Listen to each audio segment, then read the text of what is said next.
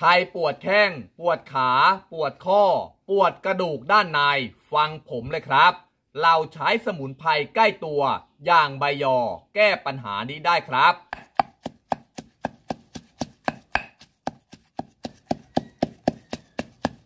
สวัสดีครับทุกท่าน เลฟทีช่องวิถีไทยพีชแนลนะครับ ถ้าใครปวดข้อทุกชนิด ไม่ว่าจะเป็นข้อนิ้วแบบนี้ ข้อมือ ข้อเข่า ปวดตามแข้งตามขา หรือจะปวดกระดูกด้านในนะครับ ในวันนี้ทางช่องวิถีไทยพีชแนลมีแนวทางดีๆ จากสมุนไพรใกล้ตัวที่เราหาได้ง่ายๆเลยครับ นี่เลยครับ ใบยอ ใบยอ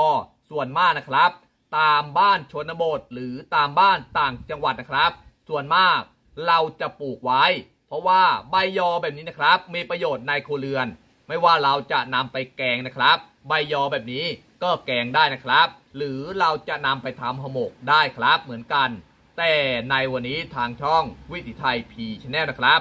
จะนำสมุนไพรย่างใบยอแบบนี้นะครับ มาแก้ปวดแข้ง ปวดขา ปวดข้อ ปวดกระดูกด้านใน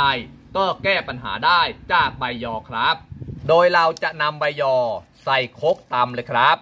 เราจะใช้ใบยอนะครับ ที่กลางอ่อนหรือว่ากลางแก่นะครับ ถ้าอ่อนมากก็จะไม่ค่อยดีนะครับ ถ้าเราปวดข้อเข่าข้อขาข้อมือ หรือข้อต่างๆนะครับ ในตัวเรา ถ้าเราอยากใช้ใบยอจำนวนเยอะ เราก็ใส่ใบยอลงไปเยอะๆครับ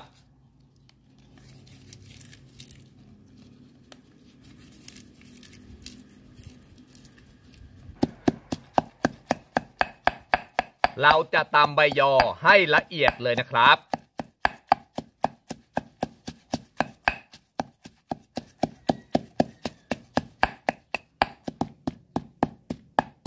เมื่อเราตำใบยอ จนละเอียดแบบนี้แล้วครับ เราจะมาใช้สิ่งนี้เป็นตัวช่วยเลยครับ คือน้ำโซดาครับ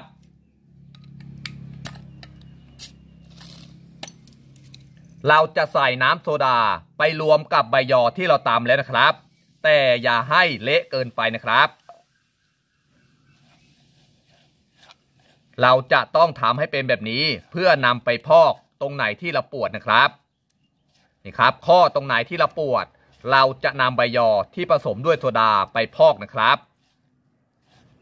ข้อตรงไหนที่เราปวดนะครับ อย่างข้อที่เข่าของผมเห็นไหมครับ เป็นรอยลดล้มและเป็นแผลอยู่นะครับ ตรงนี้แต่แผลได้หายไปแล้ว แต่ข้อเข่าด้านในนะครับ จะปวดอยู่ตลอดเวลานะครับ ผมจึงมาใช้ตัวนี้เป็นตัวช่วยเลยครับ ใบยอผสมกับโซดานะครับนำมาพอก นี่ครับ เราปวดข้อตรงไหนนะครับ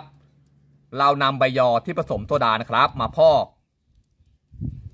เมื่อเราพอกแล้วนะครับ เราจะรู้สึกว่าเย็นเย็นนิดหน่อยนะครับ ตรงข้อที่เราพอกไว้แบบนี้นะครับ เราจะต้องกดหรือว่าขยี้เบาๆนะครับ เพื่อให้สารที่อยู่ในใบยอนะครับ ซึมเข้าไปสู่ด้านในนะครับ เพื่อไปรักษานะครับ อาการปวดข้อปวดเข่า ไม่ว่าเราจะเป็นตรงไหนนะครับ ข้อมือข้อนิ้วนะครับ หรือว่าข้อเข่าแบบนี้นะครับ เราก็แก้ปัญหาได้ และถ้าใครปวดกระดูกด้านในตรงที่เป็นข้อนะครับ เราก็สามารถใช้ใบยอนะครับ ที่ผสมด้วยโซดานะครับ พอกไว้แบบนี้ได้เลยครับนี่ครับ ใช้ได้ผลดีแน่นอนครับ เป็นสมุนไพรโบราณนะครับ ที่ปู่ย่าตายายของเรานะครับ ใช้มากันนมนานกาเลแล้วครับ หรือว่านมนานมากแล้วครับนี่ครับ สมัยก่อนนะครับ อาจจะไม่มียานะครับ รักษาแก้อาการปวดข้อปวดเข่านะครับนี่ครับ โบราณหรือว่าปู่ย่าตายายของเราก็ใช้วิธีนี้เลยครับ คือการใช้ใบยอนะครับ มาพอกตามข้อตามเข่านะครับ หรือตรงไหนที่เป็นข้อหรือเราจะปวด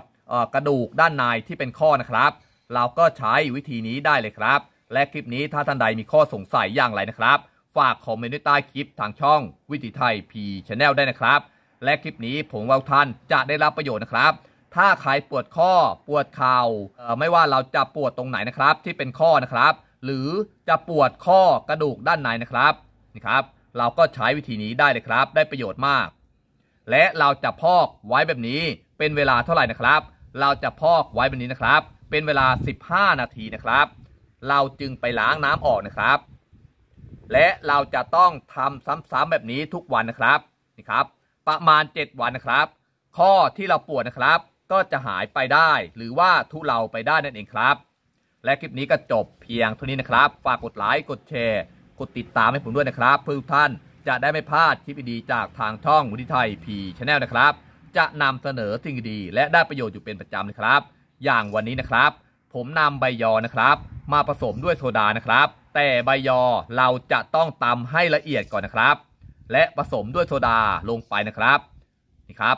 และนำมาพอกตรงไหนที่เราปวดข้อปวดเข่านะครับ จะหายได้อย่างไวและนี่ครับ หายได้จริงครับ